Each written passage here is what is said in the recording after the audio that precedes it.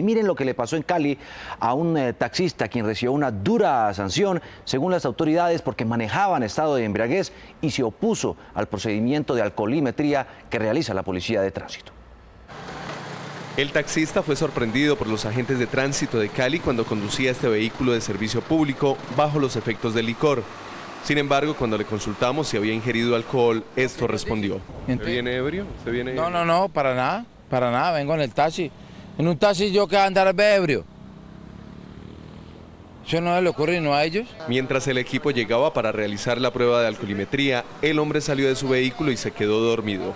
Y se le pidió la realización de la prueba y el señor eh, se tomó fue una siesta. Según los agentes, el resultado del grado de alcohol en el hombre no se pudo conocer porque el conductor no quiso soplar en la forma adecuada, razón por la que tendrá que cancelar una multa superior a los 28 millones de pesos. Pues de acuerdo a la ley 1696 del año 2013, eh, se asume a la, va a la suma de 30 millones de pesos y la suspensión de 25 años de la licencia. No sé cómo soplar, ¿cómo hago? Entonces, ¿cómo hago?